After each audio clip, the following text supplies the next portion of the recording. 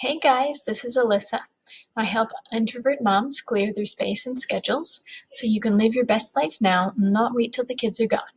Today we're going to talk about what happens when you walk in the door of your house from some outside activity.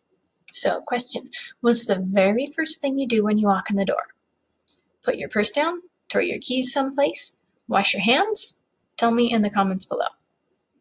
So what about a system for we're home guys, just like you created one for let's go? I think it would be really useful for you. And uh, let me explain how to do this. First, list your inside the vehicle priorities. What has to happen before you even walk in the door of your house? You've got people to unbuckle, to lift out of the car seat, maybe lift in the car seat if they're still pretty little.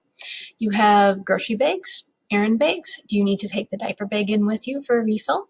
Do you have any receipts or things um, that you've got in the console by the driver? Did you bring water bottles with you or snacks? Do the kids have toys? Is there any trash? What is in the vehicle, including people, that needs to come in the house? Now, then you list what are your in-house priorities. Um, all the people, do they need bathroom breaks, um, washed hands? Does everyone tend to need a snack at that time of day? All of those bags obviously have to get unpacked. The stuff in them has to be put away. Maybe you need to clip tags.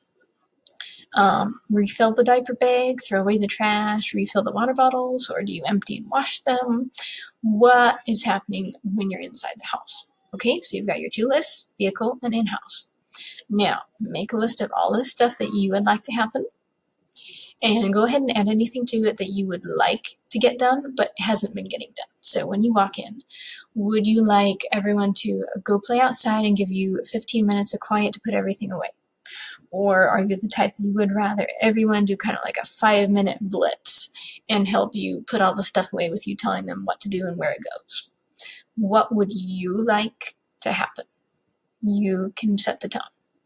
All right, now delegate, divide, and conquer. You do not have to do all this stuff yourself.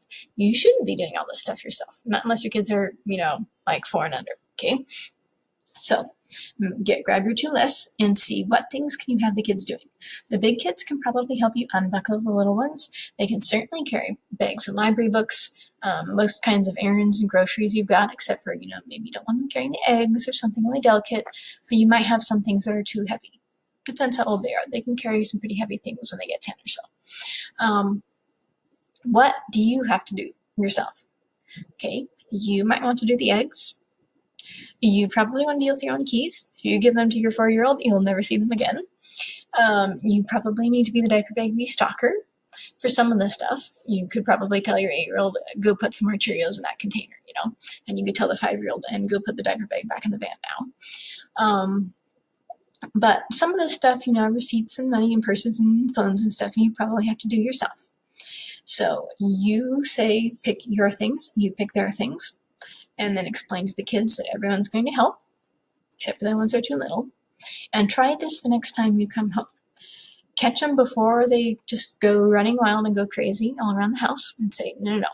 Before we walk in, I want Alyssa to go grab, you know, the bag of bananas, and I want um, Matthew to go pull the potatoes, and you can carry a one five pound sack, and then I want Alan to take the other five pound sack, and then you are going to grab the eggs and the baby because you're the mom. You can do two things at once.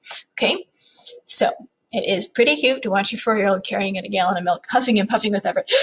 it's not too heavy because I'm strong. and he feels pretty good about helping you, right? So go to yourunbusylife.com, scroll to the bottom, and sign up for the Introvert Email Tribe. I'm going to send you another article every week that the blog people do not get to read. This is exclusive for you email subscribers when do you do this. Yourunbusylife.com, all the way at the bottom, sign up for the Introvert Email Tribe for your exclusive content. Have a great day